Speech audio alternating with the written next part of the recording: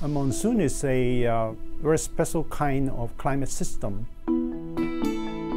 It is classified in terms of a uh, prevailing strong winds uh, that reverse distinctly as the season. And also it is described by a very distinct wet and dry season.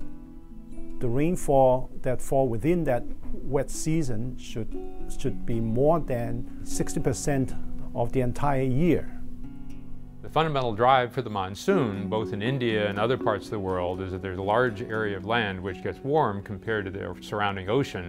And that surrounding ocean provides the moisture which is then driving the precipitation that constitutes what we think of as monsoon. If you simply look at the Asian monsoon, you can estimate, and various estimate, more than 60% of the world population live in right in that area.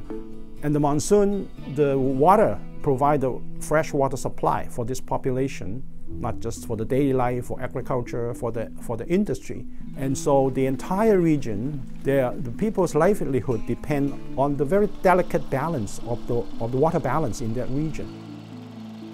GPM gives us a chance to look at precipitation around the world. And so in addition to the hurricanes and typhoons, we're also looking at the monsoons because those storm systems are very important for driving floods.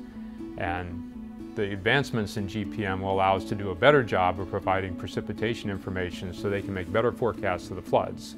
Monsoon is not just simply a local problem, a curiosity, it actually has a huge amount of societal uh, impact in terms of how it changes in that region, the economy in that region can affect the entire world, as well as many, many things that happen in that region.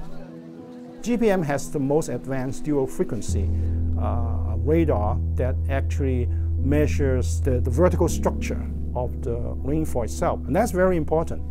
The DPR gives us an unprecedented capability of teasing out relative sizes of particles, and this is really important for understanding how the microphysics, the, the rain process works and the snow process, and also how those can then be represented in numerical models that are critical for forecasting future events. To study the monsoon, one thing we didn't know is to know what we call the predictability of the monsoon. How well can we predict the monsoon at a time? And in order to do the prediction, we need to have to know the variability very well. This ranges from daily to weekly, seasonal, and then to what we call decadal variability. The monsoon was first named in India, but it turns out that the same driving force happens in other parts of the world.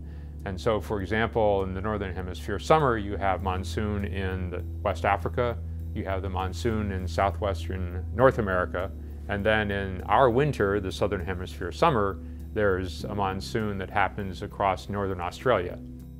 The great thing about GPM is it allows you to see the rain systems a, as a whole. You get to see them over the ocean and over the land. You can see what the transitions are. And so even before it gets to land, where we have surface observations, we can tell what's going to come in.